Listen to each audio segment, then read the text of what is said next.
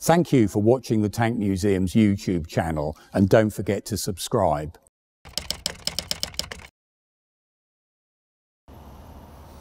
This tank chat's going to be about this vehicle, uh, the Jagdkanone or JPZ 4-5.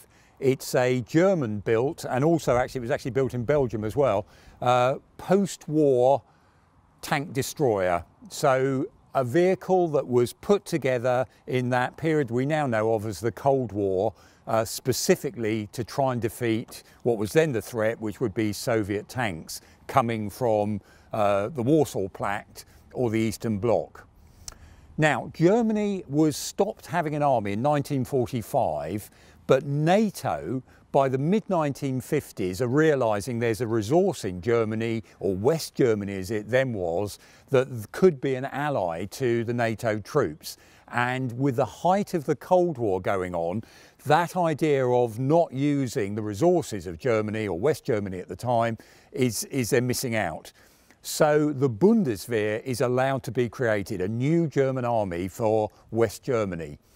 Now that initial army, that force, was equipped mainly with American equipment, but straight away they start programs to equip themselves in the manner that they want.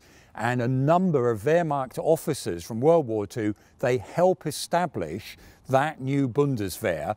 And of course, they've had the experience in the Second World War of the use of tank destroyer or Panzerjäger type vehicles. In other words, a track chassis with a powerful anti-tank gun on. And we know how the Sturmgeschütz moves or morphs over from being uh, a vehicle that's there to support the infantry to again being a very effective tank killing weapon, especially because it's got a low profile without the turret. So the Germans start a program to try and create that tank destroyer that they want. And the first offering that comes back at the end of the 1950s is not considered acceptable enough. It's based on the HS-30 armoured personnel carrier that's put into service. It's actually a Swiss-built chassis with a British engine in. Um, they put a 90 millimeter gun on the front of it. It's imbalanced. It doesn't really work that well. So they go back to industry and uh, in 1960 to 1962, three companies come forward with five prototype vehicles for the German military to have a look at. Those companies are Henschel, Hanomag, and the Swiss company Mowag puts together one vehicle that comes forward. The other two companies have two prototype vehicles. Now those vehicles are looked at by the German military. It initiates another round of building prototype or testbed vehicles from 62 to 63 this time it's down only now to Hanomag and Henschel and they make three prototypes each. And then there's a final series of prototype vehicles between 63 and 65. Those vehicles, again, three each from the two manufacturers, and that leads to really a combined effort that becomes the Jagdkanone, the vehicle behind me. Now, those two companies are given equal shares of a 750 order production run um, so uh, 375 vehicles each are, put, uh, are built by Henschel and Hanomag and it's part of also a bigger sort of family or range of vehicles that the Germans are looking at at the time. They're thinking that this chassis might be useful for a reconnaissance vehicle. That doesn't actually take off. They think it can also be used for an anti-tank missile carrier. That does follow on and uh, what becomes called the Raketa, um, which is basically a missile carrying version of this vehicle, goes into production after they finish the 750 of the Jagdkanones. And they also are looking at a replacement armoured personnel carrier which becomes the Marder and that these projects actually interweave at certain times in their history. But what do you get with a, uh, a Jagdkanone? Uh, so it's based around the anti-tank gun they're using. They look originally at the gun that's on the American M47, M48, but they Rheinmetall adapt it. It becomes a new gun that Rheinmetall patents. And that's this 90 millimeter gun you can see here. It's got a double muzzle brake or double baffle on the end of the muzzle brake there. It's got a fume extractor just behind it and it's a gun that fires a combination. You can either fire HESH rounds, high explosive squash head, at anti-tank targets. That doubles up as a good HE round as well. Or it can fire HEAT rounds, high explosive anti-tank, in other words, hollow charge. And this can fire and knock out most Soviet vehicles in that uh, late 50s, early 60s period, um, out to about 2,000 meters. Now, to crew it, there's a crew of four. Obviously, the gunner who's uh, looking after this gun in terms of aiming it, he's inside this, so you've got a driver on one side, gunner on the other, nearer to me, and the loader is slightly set back behind the driver.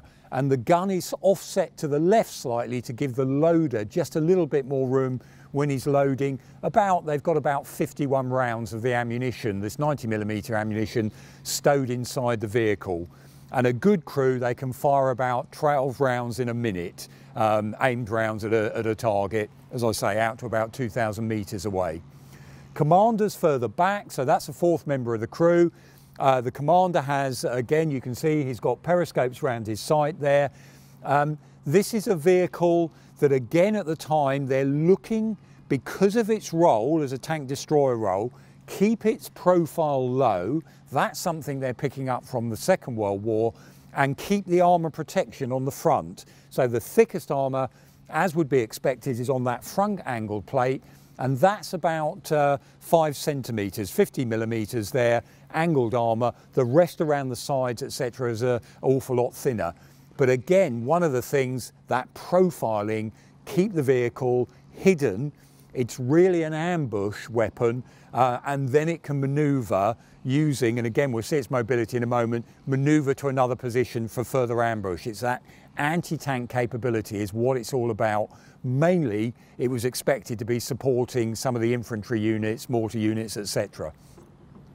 Now, when we look at it uh, in terms of power, in the back, there's a Daimler-Benz engine there. It's a diesel engine, eight cylinder, that produces about 500 horsepower. So it's a powerful engine that can motor this vehicle, that mobility factor. It can get around quickly, about 70 kilometers an hour on the open road. And that's speedy for a vehicle that comes in at about 27 tons.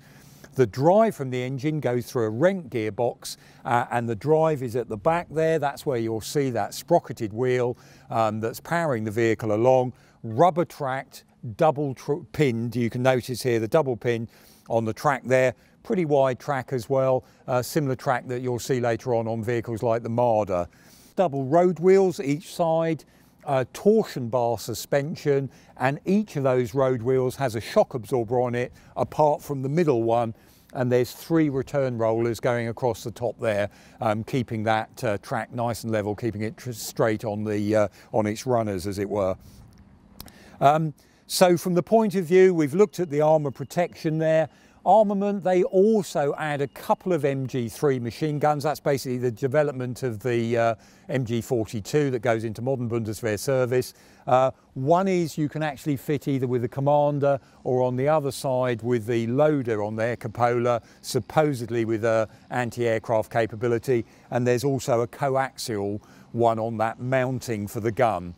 That gun, when it's actually in a fixed position with the tank static, it's got a 15 degree lateral movement either side, 15 degrees up or 8 degrees of depression. So again, they're thinking of using these guns in pre-prepared positions, sometimes scrapes, but with that idea it's fire, scoot and move to another position once you've ambushed your oncoming enemy tanks. Now this vehicle, we say it goes into service with the German military. They actually have it in service till about 1990 um, where it's finally retired. A number of them, about 162 I think it is, actually go back to the factories to become rebuilt as one of the four versions of the rocket carriers that the Germans uh, put into service. Early models have the SS-11 anti-tank missiles. Later ones have a Euromissile HOT system on there. Um, and those go in service and they're in service much longer. In 1972, Belgium goes to Germany and they order 80 of these vehicles that actually get assembled at Anvers in, in Belgium. And this is one of those vehicles. They're called improved. They have slight changes on them uh, for service in the Belgium Army. So this particular example of the Jagdkanone was actually given to us uh, by the Belgian, Belgian military some years ago. And uh, it's had a, a fairly rough life here at the Tank Museum. I say rough, it's seen a lot of mileage. Uh, I remember when I first came here, this was regularly the threat or the enemy vehicle used by the Ruritanians when we did our tanks in action battles. And it was a very reliable vehicle, which is why it always seemed to come out and get driven around all the time. So you can see as I'm standing next to it, it's got that classic key features of a, of a, of a tank destroyer, low profile, hidden, hasn't got the turret, that means it's cheaper, easier to use, but again, as we were looking at before with tank destroyers, one of those systems that seemed to get overtaken in time by missile carriers and not that many countries followed up on the idea of the tank destroyers and the Germans certainly don't in terms with a direct fire weapon like this 90 millimeter gun on this particular example. Interesting nonetheless, and that idea of the German military, not a hangover, but a progression, I would argue, um, from their use of uh, the Panzerjäger type of tank destroyer that they were doing in the Second World War, used well into the second half uh, of the 20th century.